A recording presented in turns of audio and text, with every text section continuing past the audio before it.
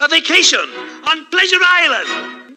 Yes, that happy land of carefree boys, where every day's a holiday. Why, of course you can go.